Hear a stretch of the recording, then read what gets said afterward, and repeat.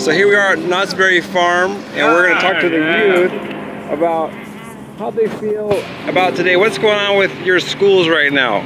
Is there a lot of people that hate God or love God, or what do you think? A bunch, bunch of atheists. A lot of atheists? Yeah. Yeah? Thank God. What school you go to? Bell Gardens High School. Oh, okay. So we got to pray for that Bell Gardens High Yeah, we School. gotta pray for that. Yeah, as well as other high schools. That's right. A lot right. of Satanists. Satanists too? There's a lot hell of, oh, yeah. There's a lot of groping. Groping? Yeah. Oh Yeah, no. actually- My teacher touched the girl. Really? He's locked Yeah. Oh my gosh. He's definitely Wow. going down. that Oh, guy's wow. locked up. Look that locked up. up. So you guys all believe in Jesus?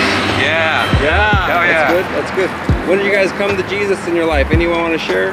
Ah, I did two years of church class every Sunday. Oh, good. Awesome. At least I did my first communion.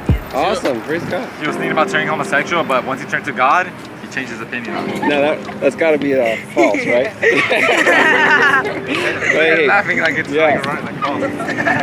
Yeah. Well, I'm glad that you guys are in the church a little bit in the Bible. I want to ask everyone watching this video to pray for these young people that they get strong in the Lord and be able to be bright lights in this dark world. And uh, feel free to join my Facebook group, Homeless Advocates for Christ on Facebook too. Please share the video, like, subscribe, comment, and may God bless you all. As you seek for skin always by way. Amen. So, amen. Thanks, you guys.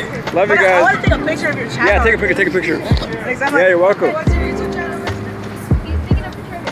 Yeah, take a picture, you guys. I want to see us on YouTube. Got it, man. Thanks for your support. Uh huh. Thank you. Thank you guys.